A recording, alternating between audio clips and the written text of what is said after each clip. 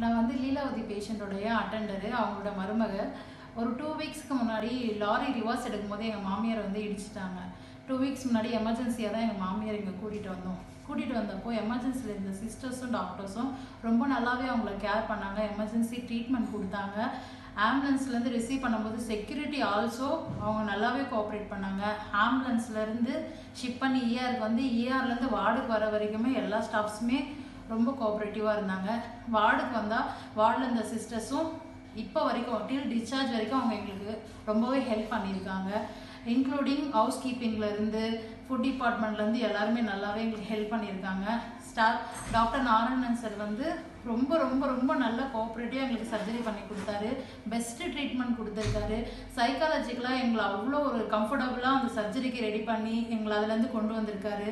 So அவரோட ட்ரீட்மெண்ட்டில் எங்களுக்கு எந்த குறையும் சொல்லவே முடியாது. நெக்ஸ்ட்டு பிளாஸ்டிக் சர்ஜரி லோகே சார் அவரும் வந்து ட்ரீட்மெண்ட்டில் எங்களுக்கு பெஸ்ட்டாக தான் பண்ணி கொடுத்துருக்காங்க.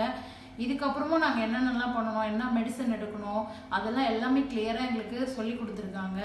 தென் சிஸ்டர்ஸ்னு பார்த்தா staff nurse Selma staff nurse Beulah and incharge sisters எல்லாமே எங்களுக்கு ரொம்ப ரொம்ப ஹெல்ப் பண்ணியிருக்காங்க ஸ்பெஷலி இந்த வார்டோட இன்சார்ஜ் சிஸ்டர்ஸ் எந்த ஒரு ப்ராப்ளம் ப்ராப்ளம் எதுவும் இல்லை. ஒரு சின்ன கோரிக்கை எதுனா வச்சா கூட அவங்க உடனே அதை ரெக்டிஃபை பண்ணி கொடுத்துருக்காங்க.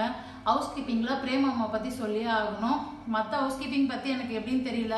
அவங்க வரது போகிறது ஆனால் இவங்க ஒரு சின்ன ஹெல்ப்னு கேட்டால் கூட கூட நின்று அவ்வளோ நல்லா ஹெல்ப் பண்ணி ஒரு நம்மள ஒரு அம்மா நல்லா பார்த்துப்பாங்கல்ல அந்த அளவுக்கு அவங்க எங்களை பார்த்துக்கிட்டாங்க ஸோ பிரேம் அம்மா வந்து எங்கள் லைஃப்பில் நாங்கள் மறக்கவே முடியாது. ஸ்டாஃப் நர்ஸ் இன்னும் நிறைய பேர் இருக்காங்க. பேர் மென்ஷன் பண்ணால் எல்லாரையும் பண்ணிகிட்டே போகலாம். ஸ்பெஷலாக Anitha sister Salma sister டியூலா sister அப்புறம் நைடுடி சிஸ்டர் அவங்க நேம் எனக்கு ஸ்பெஷலாக தெரியல. எங்களை பார்த்த எல்லா சிஸ்டர்ஸுமே ஷியோராக எங்களுக்கு நல்ல ட்ரீட்மெண்ட் கொடுத்தாங்க.